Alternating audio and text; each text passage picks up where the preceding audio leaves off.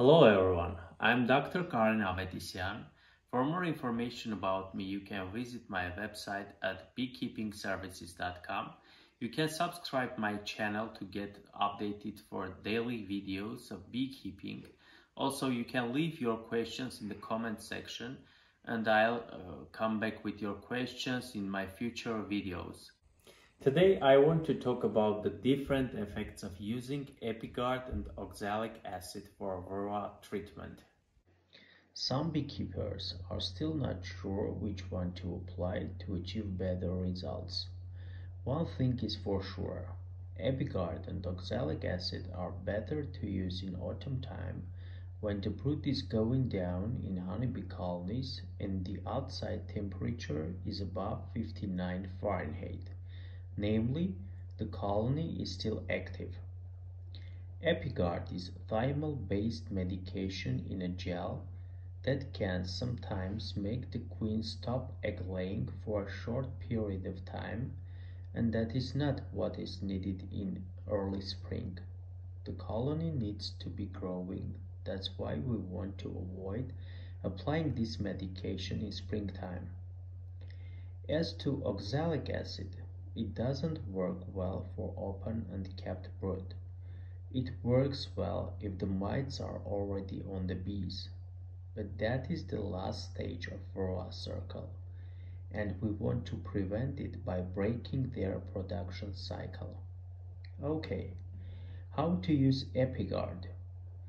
Peel back the lid of the tray and place gel side up on the top of the brood frames if you have two and more deep boxes or supers, depends on the brood frame's location, you can embed the tray between the boxes. The second dose should be applied after two weeks are passed. It is better to finish feeding before applying Apiguard in late autumn, even though the colony is enough strong to take both the medication and syrup. The latter stimulates the queen lay eggs and therefore the population of varroa mites goes up in the hives. Thus, feeding and treatment together is not recommended in this time of the year.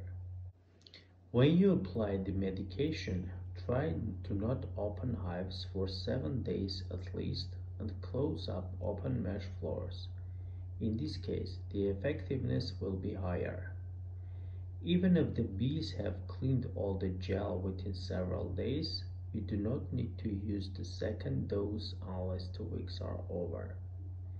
The thymol, although not in the tray, is active throughout the colony during this time, having been carried around by the cleaning bees. Currently, varroa mites do not have resistance against thymol.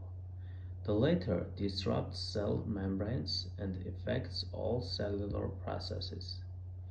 It is a very general mode of action rather than being highly specific.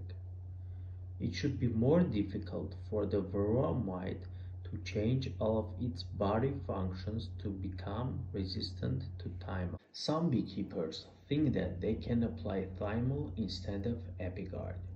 Autumn time in cold conditions, the thymol crystals do not sublime quickly enough and mites are not controlled.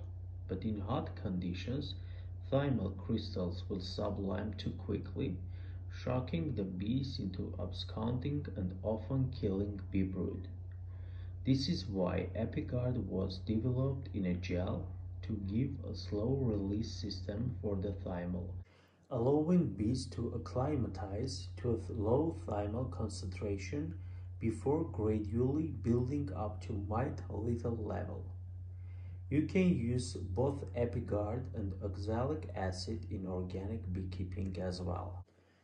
The oxalic acid gas compared to Apiguard will increase the humidity of the hive and we want to avoid get higher moisture because these hives incline to be vulnerable of the dampness due to feeding recently or overfeeding recently or because the winter is ahead and moisture in cold weather is not conducive to bee health.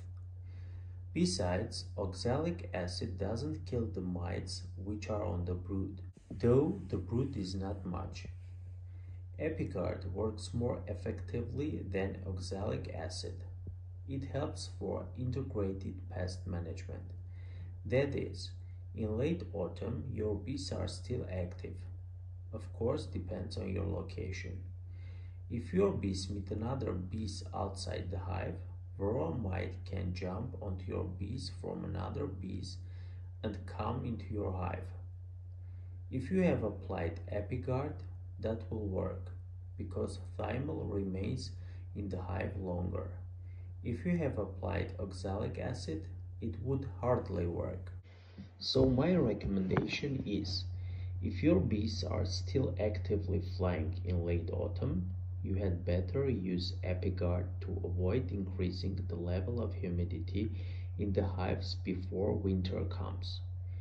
The extra humidity in this time of the year can bring to manifestation of nosema, guts issues, and therefore low immune bees. I understand that it is more expensive to buy Apiguard, but especially if you have had late feeding in the autumn, it helps to avoid having more problems with your bees. This is all for today. I hope this information was useful, especially for the beekeepers who had happened to do late feeding. Subscribe my channel to have daily updates on beekeeping. Thank you for watching.